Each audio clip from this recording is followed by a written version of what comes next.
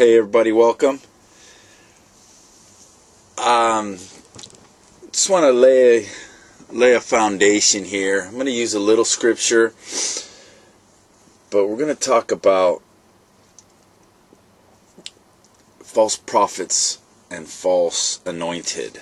Okay, and I think it's important to understand that when Yeshua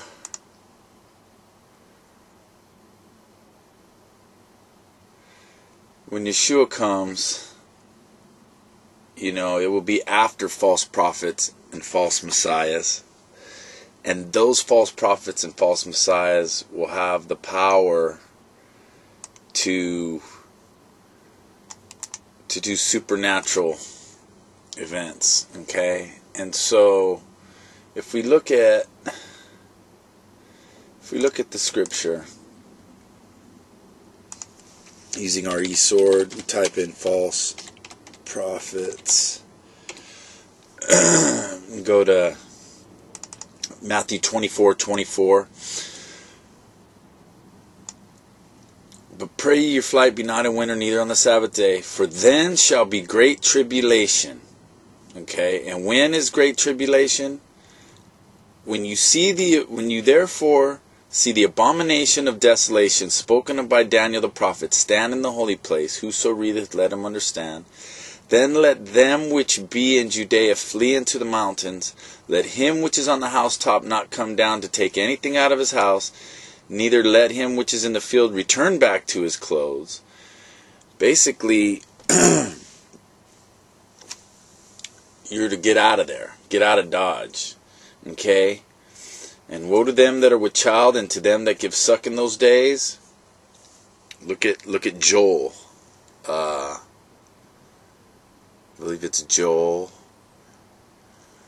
talking about the armies that would just, destroy, killing babies, ripping babies out of their mother's womb. It's sick. It's a sick description, but I didn't write it. Um, for then shall be great tribulation, such as was not since the beginning of the world to this time, nor shall ever be. Okay, and except those days should be shortened, there should be no flesh be saved, but for the elect's sake those days shall be shortened. Then if any man shall say unto you, Lo, here is Christ, or there, believe it not. For there shall arise false Christs and false prophets, and they shall show great signs and wonders, insomuch that, if it possible, they shall deceive the very elect. Behold, I have told you before. Okay, this is key right here. Um, you see the abomination which maketh desolation standing up. Okay, we see an image of the beast. We see the gods with us. We see angels with us. Okay, uh, Issa, son of Jesus, son of Mary, maybe Quetzalcoatl, uh, the return of Zeus, return of uh, Buddha.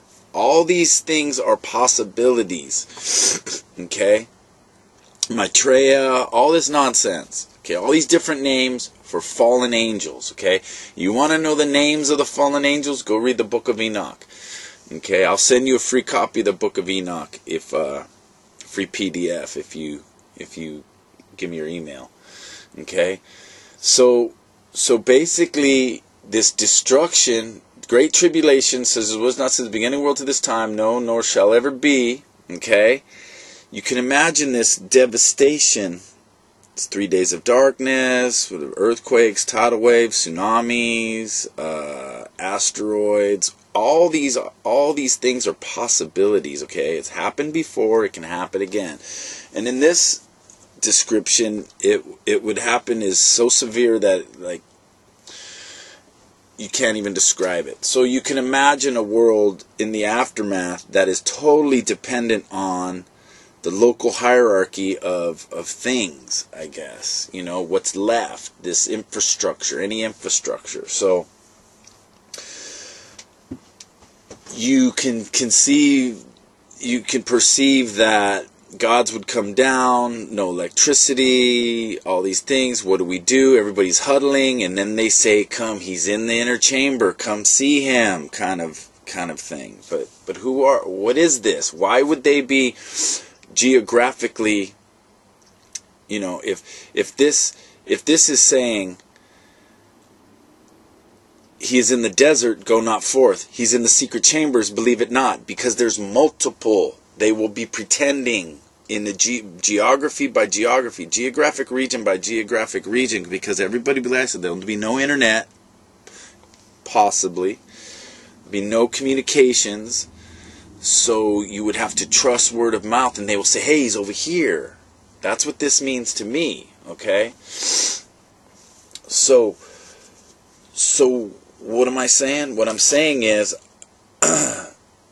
if if the world has one story, because it does, and that story is based on prophecy. I mean, there has been prophecy for every culture isolated through time.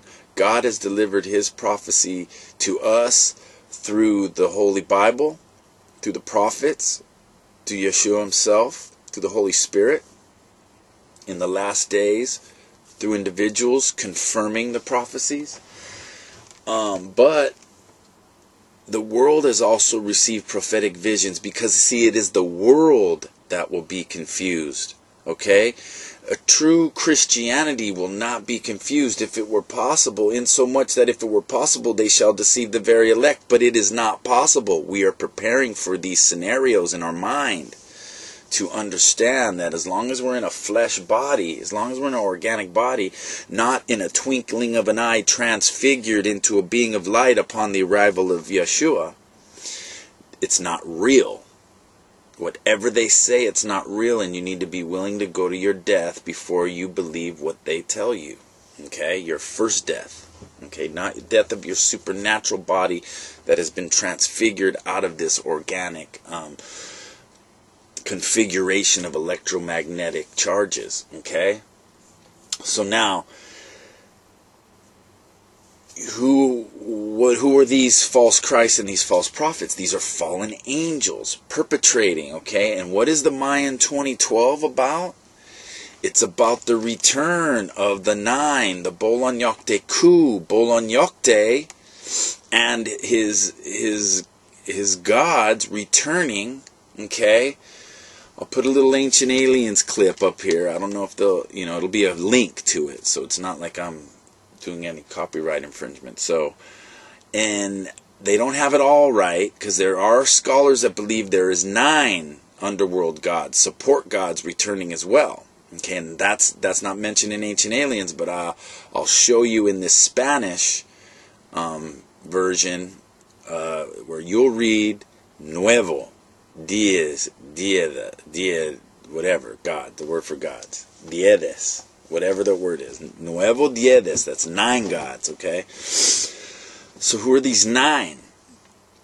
Well, the Ennead is a Greek term, okay, for the nine deities in the Egyptian it's a group of nine deities. There were more deities, but this is a group of the major deities, okay?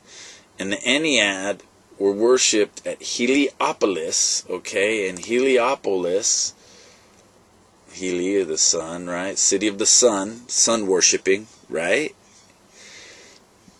Okay, it's the one of the oldest cities of ancient Egypt. Okay, so from the beginning, these nine deities worshipped in the city of the sun. Okay, and check this out Atum, a male personage, if you see the glyph. Shu, a male personage, if you see the glyph. Nut and Geb. Geb has a serpent head. Nut is a female. So you have three females, three males, one male, so female so far. Osiris, sort of a green guy, like the Indians. You know, they got the green dudes, the blue guys, okay? Um, Isis, a female. Set, a male. Seth, he's got uh, like a jackal head. And then Nephthys. Okay, so you have one, two, three women, and one, two, three, four, five. One, two, three, four, five six, seven, eight. So they're listing eight in this gallery. So who's the ninth? Okay. The ninth is going to be Ra, I think. But anyway, what, what what I'm trying to tell you is there's there's these nine gods in Egypt. There's these nine gods in the Maya. You have the feathered serpent of the Maya, the eagle and the snake. You see the headdress of Pharaoh that has the, the, the snake and the eagle. And you have a concept that exists that there, there was a centralized civilization that was the main civilization where these nine were from, and they were worshipped at Heliopolis. They were worshipped in the Maya. And where were they at? They were in Atlantis. Okay, these are their Egyptian manifestations, these Egyptian names. In Maya, we have the Mayan nine, but really, we, we have the Greek pantheon. Okay? And in the Greek pantheon,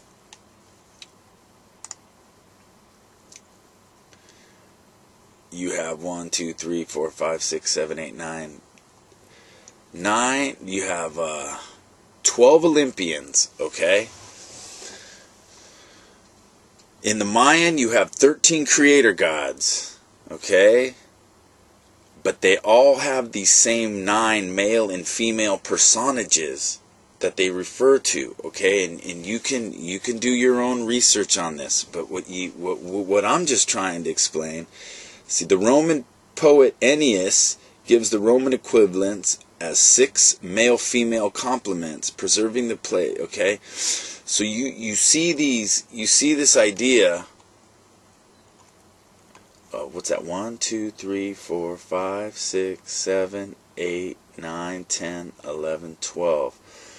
Jupiter, Juno, Jupiter, which is Zeus. Let's just go with the Greek name: Zeus, Hera, Poseidon, Demeter, Dionysus. Okay, and I think Dionysus was a half breed. Okay, so he's not necessarily one of the, the, the top ones. Okay, Apollo, another half breed. So if you take the half breeds out, you could quite possibly have nine, but that's that's scholar research on another level. don't have time for that. What we're trying to explain is that every ancient civilization has these same male and female god representations. Okay, and the Mayan 2012 in Tortuguero in Tabasco, Mexico, there's a hieroglyph, and that hieroglyph says December 21, 2012, in Mayan calendar terminology, the nine will descend, okay, or ascend from the underworld, whichever you want to have it, will, will come from another time and space and descend, come down to this planet, okay? So, what does that mean for Christians? It just means that there could be a day when the whole world will say, We told you so. These nine gods have come down and explained to us the truth that we're all together, we're all brothers, and, and, and we're all gods, and, and our collective mind is God, but we as gods have the power to create as God. All this crazy New Age stuff is, is not New Age New Age religion is the oldest religions. Okay, just manifested in some new hip groovy try to get laid kind of way. Okay? They're not they're not the um the the people they claim to be, okay? They're just hip and cool in another way using this ancient ancient theology to to create this um, awareness that you know the God, our God, the God of Moses, God of Abraham, God of Yeshua, is not the true God, but that we are all God, and that we, it is manifested through time through these personages. All right, so so you you go to the book of Daniel. Okay, we're using our e sword again. So we go to binoculars, and we're gonna search. Okay, seed of men. Okay?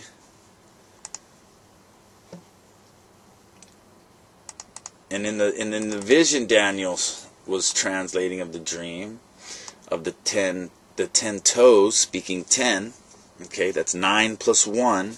Nine support gods and one Bolon Yokte and nine support gods. Okay, the Bolon Yokte Ku. Okay. And as the toes of the feet were part of iron and part of clay, so the kingdom shall be partly strong and partly broken. And whereas thou sawest iron mixed with miry clay, they shall mingle themselves with the seed of men. Okay, so these ten entities mingle with human beings. Okay, whether it be sexually or whether it be we live amongst you, doesn't matter to me. It is a differentiation between these ten kings in this seed of men. And this word kings, it's royalty. Okay? So it's not necessarily a masculine thing. Okay? The kingdom shall be partly strong and partly broken. Okay, they shall mingle themselves with the seed of men, but they shall not cleave one to another, even as iron is not mixed with clay. This is the final kingdom on the planet before the return, because we see in the next verse, Daniel 2:44, and in the days of these kings shall the God of heaven set up a kingdom which shall never be destroyed, and the kingdom shall not be left to other people and it shall break in pieces and consume all these kingdoms, and it shall stand forever. Okay? It's really, really critical that we understand that the world understands its own history outside of the context of the Bible, and that the devil is going to use that understanding of ancient history. This whole ancient alien things has aliens has primed a whole generation of intellectuals to be open to this idea Okay, when I was a kid, it was Chariots of the Gods, and Erich von Däniken is resurrected with Ancient Aliens, and it's a whole new generation ushering in this idea that we will be visited by the Anunnaki, them who descended from the sky. Okay? So you could see the false prophets and the false Christs. Okay, and you can see the waves of them. And you could even see how this world can be set up here with these false prophets and these false Christs. And then who comes? Not necessarily Yeshua. Because until we're out of these organic bodies, it's it's not Yeshua. Okay? Hold on one second. Hey Steve! Steve! Hold on one second. Hey Steve. I'm, I'm, I'm, I'm finishing up this little Bible study I'm doing, but if you got a minute, no problem. Okay, give me a minute. Yeah, I don't have the, the editing capacity to, to edit this. This is high definition. It just takes too long.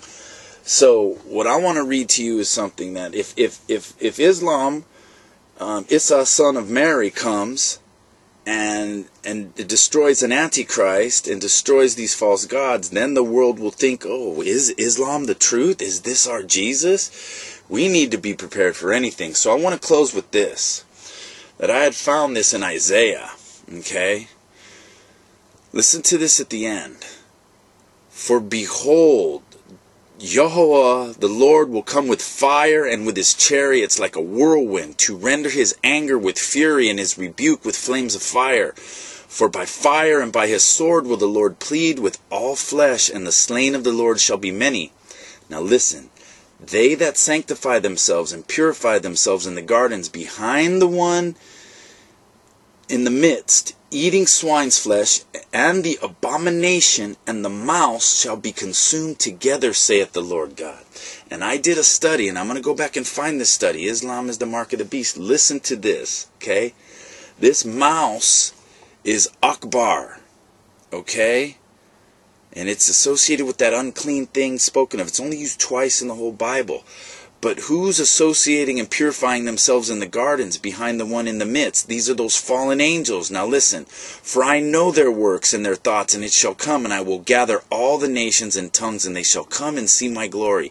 And I will set a sign among them, and I will send those that escape of them unto the nations. Okay, now listen. Okay. The abomination, the image of the beast, the, the beast, the mouse, Akbar, okay, shall be consumed together, okay, in the lake of fire. All right? So this is the gods with their godhead coming And the world is being prepared by this whole Mayan 2012 to accept that. Whether it happens on that date or not, I don't care. But what they're saying, if it happens, plays right into our prophecies. And this whole battle of good and evil with the Bolon Yokte Ku are coming to battle evil, you're not you're gonna know who good and evil is, because as long as it's not Yeshua coming and in a twinkle of an eye we are transfigured, it's all the devil. Okay? I love you guys. I pray for you guys. I pray for you guys. This is going to get wild over the next few days, Lord willing. So I pray, I just want to set up this foundation, Father, that we, we, we, we keep your word first and we hold your word as truth as we walk through these days of confusion, Lord. And we pray for strength and, and, and understanding and wisdom. And we pray in the name of Yeshua HaMashiach in the Ruach HaKodesh. Amen. Peace.